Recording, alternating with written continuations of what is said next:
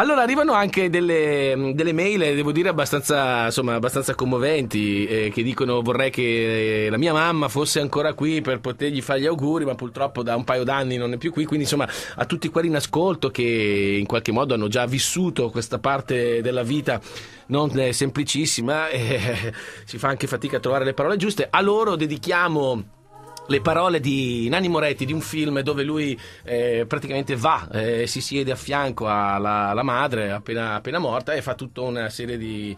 fa tutto un discorso. Insomma, mi, mi emoziona sempre quando lo ascolto e lo dedico a tutti voi. Ti ricordi la prima volta che in un bar abbiamo preso la cioccolata calda con la panna? Eh? E quel negozio al corso che regalava le pallette di gomma ai bambini che compravano le scarpe? Ce l'ho ancora quella palletta, hai visto? Ero felice quando uscivo con te. Mi sentivo al sicuro da piccolo, perché sapevo che c'eri tu. È bello essere bambini, non avere responsabilità e nessuno che ti chiede niente.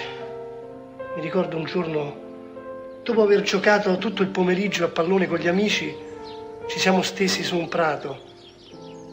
Era stata una giornata lunga, bella, piena di luce, uno di quei giorni di primavera che sembra non finiscano mai. Il sole se n'era appena andato. Eravamo stanchi, sudati. Guardavamo il cielo che diventava sempre più scuro. Sentivamo quest'erba fresca e nessuno parlava. Ecco, quel giorno io sono stato felice.